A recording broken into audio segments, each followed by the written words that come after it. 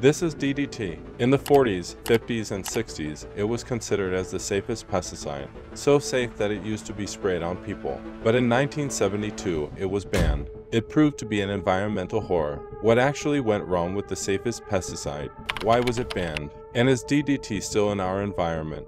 An environmental tragedy. It's been unfolding for generations. Exposure to the DDT may increase elderly people's risk of Alzheimer's disease. Now, of course, we know that what they were spraying was the evil DDT.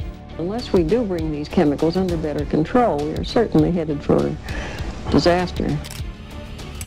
In a laboratory deep within the confines of Basel, Switzerland, during the turbulent times of the late 1930s, a scientist named Dr. Paul Hermann Muller stumbled upon a chemical that would reshape the world of agriculture. This chemical was dichlorodiphenyl trichloroethane, better known by its abbreviation, DDT. Dr. Muller wasn't looking for a pesticide. His journey began in the realm of moth-proofing agents. But as serendipity would have it, he discovered that DDT was not only an excellent insect repellent, but also a highly effective insecticide. Recognizing the potential of his discovery, Muller tested it against several insects and found it to be extraordinarily lethal. World War II soon raged, and DDT found itself front and center in the battle against disease-carrying pests. Soldiers, children, and whole towns were dusted with DDT to combat malaria-carrying mosquitoes and typhus-bearing lice. Malaria rates plummeted. DDT seemed a miracle chemical, and Muller was awarded the Nobel Prize in Physiology or Medicine in 1948 for its discovery. But as with many tales of wonder, there lurked a darker side.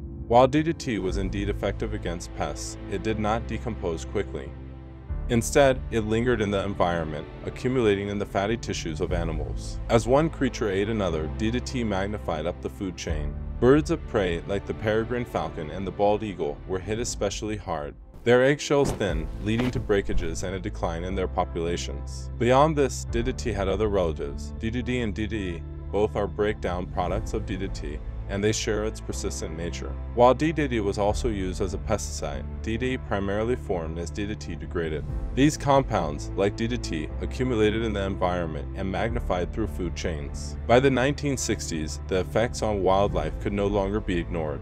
Furthermore, concerns about potential human health impacts began to emerge. DDT and its metabolites were linked to a range of potential health effects in humans, from cancer to reproductive issues. In 1962, marine biologist Rachel Carson published Silent Spring, a groundbreaking book that chronicled the environmental impacts of pesticides, with DDT at its center. Carson's meticulous research and passionate prose brought attention to the perilous side of DDT. The book sparked a global environmental movement and led to increased scrutiny of chemical pesticides. Following mounting evidence of its environmental and potential human health impacts, DDT was banned for agricultural use in the United States in 1972. Many other countries followed suit, either banning or severely restricting its use. Today, the use of DDT is limited globally. The Stockholm Convention on Persistent Organic Pollutants, which came into effect in 2004, allows the use of DDT in certain cases to control malaria, but its production and use are otherwise banned or restricted in many countries. However, the legacy of DDT and its kin lingers on.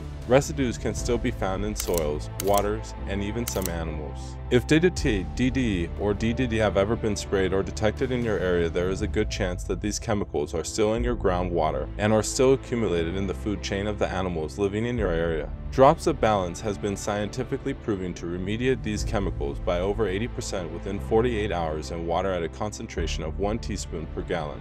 Check out our safety and testing tab to learn more about all the other chemicals Drops of Balance can remediate from your water source. Link is in the description. And if you use my code SAFECLEANWATER, you'll get an extra 10% off. Don't just remediate the problem, stop causing the problem. Use Organishield, it's plant safe, people safe, and planet safe.